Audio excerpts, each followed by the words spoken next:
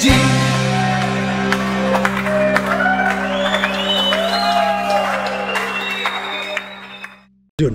Eh, bueno, muy buenos días para todos. No, bien, contento de, de poder estar otra vez eh, cogiendo ritmo, eh, sumando entrenamientos. Obviamente le hace mucha falta a uno estar en ese día a día de poder jugar, de, de entrenar y bueno, evolucionando de la mejor manera. No, Miguel, la oportunidad de pronto, ahí hablábamos con el médico y está ahí, para de pronto estar presente en el partido del jueves, eh, si, si, si, logra estar, eh, ¿cómo se siente usted físicamente? ¿En qué condiciones está? Bueno, sí, esperando la, la revisión de, del día miércoles, eh, los entrenamientos que, que, he podido tener eh, me han servido mucho, me he sentido de muy buena forma, eh, si bien es algo que, que tengo que ser consciente que tengo pues una lesión, pero debido al fortalecimiento que he hecho, la terapia me ha servido mucho para, para llenarme mucha, de mucha confianza en, en la competencia y bueno, eh, me siento de muy buena manera. ¿Cómo ha vivido estos partidos previos por fuera de la cancha?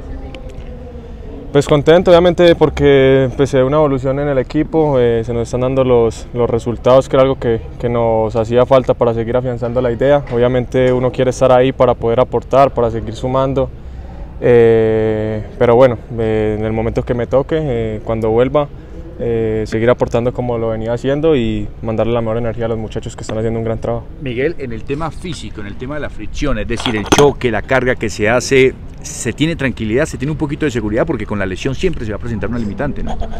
Sí, yo creo que es de, de ir cogiendo ritmo. Creo que a medida que pasen los partidos, los entrenamientos, uno va a ir soltando ese miedo, esa, esa inseguridad que tiene. Eh, como te digo, tengo que hacer un muy buen fortalecimiento para brindarme más seguridad y, y bueno, no, no, no, pensar tanto en eso. Eh, creo que si uno le da mucha importancia también se, se perjudica.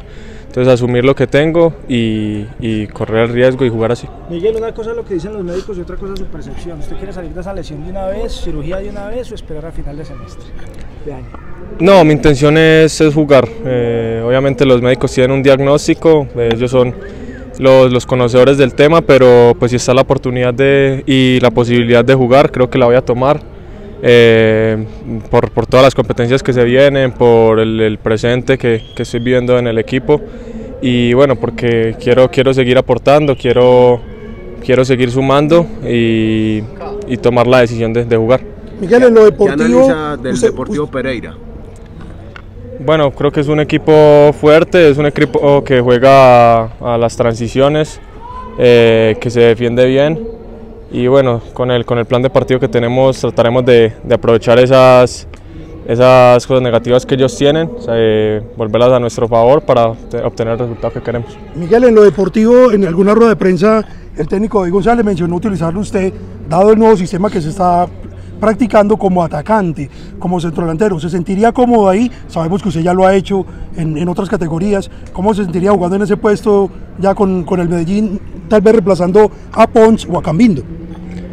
No, yo creo que, que, el profe tiene pues, un conocimiento muy grande sobre mí. Eh, él sabe dónde le puedo aportar más, en, qué partido, en contra qué rival puede, puedo aprovechar eh, eh, mis, mis